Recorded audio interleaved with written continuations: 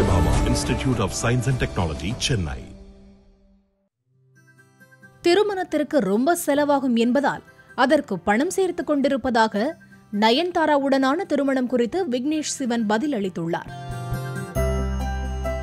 தமிழ் சினிமாவின் சீனியர் நடிகையான நயன்தாராவும் இயக்குனர் விக்னேஷ் சிவனும் நீண்ட நாட்களாக அதாவது கிட்டத்தட்ட ஆறு ஆண்டுகளாக காதலித்து வருகின்றனர்.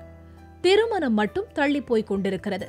இருவரும் இணைந்து பல இடங்களுக்கு செல்லும் புகைப்படங்களை விக்னேஷ் சிவன் இன்ஸ்டா பக்கத்தில் அடிக்கடி வெளியிடுவார்.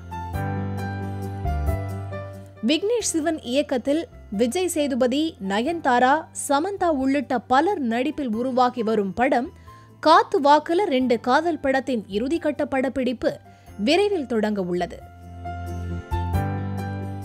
இந்த நிலையில் தனது இன்ஸ்டாகிராம் பக்கத்தில் ஆஸ்க் மீ எனிதிங் என்ற தலைப்பில் ரசிகர்களின் கேள்விகளுக்கு விக்னேஷ் சிவன் பதிலளித்தார். ரசிகர் ஒருவர் உங்களுக்கும் நயன்தாராவுக்கும் எப்போது திருமணம்?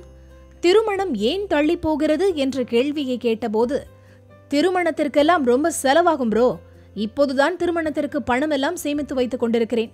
கொரோனா காலமும் முடிய வேண்டும். அதற்காகவே காத்திருக்கிறேன் என்று விக்னேஷ் சிவன் பதிலளித்தார். மேலும் நயன்தாராவுடன் எந்த இடத்திற்கு சென்றாலும் பிடிக்கும் என்றும் டின்னர் முடிந்தால் நயன்தாராவே அனைத்து பாத்திரங்களையும் கழுவி வைப்பார் என்றும் விக்னேஷ் சிவன் கூறினார்.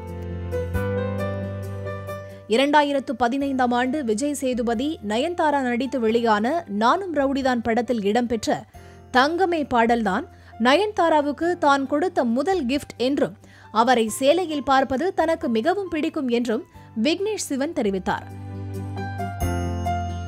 மேலும் நயன்தாராவின் சமையலில் கீ ரைஸும் சிக்கன் குழம்பும் தனக்கு மிகவும் பிடிக்கும் என்றும் நயன்தாராவின் பிரார்த்தனைகள்தான் அவரை அழகாக காட்டுகிறது என்றும் விக்னேஷ் சிவன் தன் வருங்கால மனைவி குறித்து பெருமைப்பட கூறியுள்ளார்.